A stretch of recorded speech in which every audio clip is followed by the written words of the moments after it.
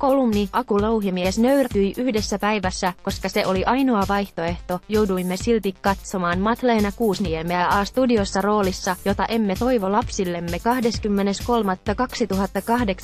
kuoleman portilla käyneet kertovat väreistä, valoista ja kuolleista tuttavista. Nyt myös tutkijoilla alkaa olla käsitys siitä, mitä rajalla tapahtuu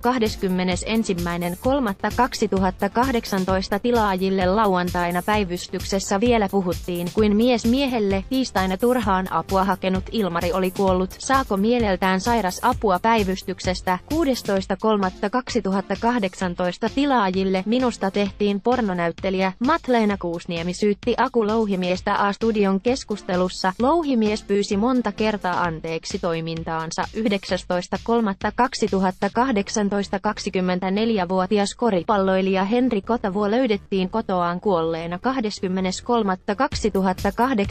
useita koiria kuollut ja ihmisiä loukkaantunut koirahyökkäyksissä Heinolan seudulla koiranomistajia, joiden eläinhoivavietti tulisi suunnata hamstereihin 14.3.2018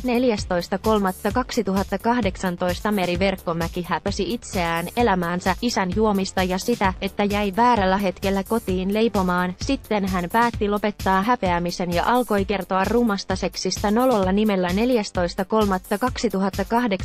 tilaajille psykoterapeutti Satu Pihlaja ei saanut mitään aikaan, kunnes yksi oivallus mullisti kaiken. Nyt hän tekee väitös kirjaa harrastusten ohessa kahta tutkintoa ja kertoo, miten kuka tahansa voi kääntää kurssinsa 13.3.2018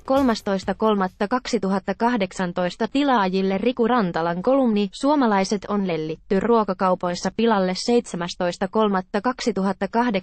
ravintolan perustanut Hanan Sneih 24 on yksi kahdeksasta Suomessa kielteisen turvapaikkapäätöksen saaneesta syyrialaisesta. Olen täydellisen pettynyt tähän systeemiin 14.3.2018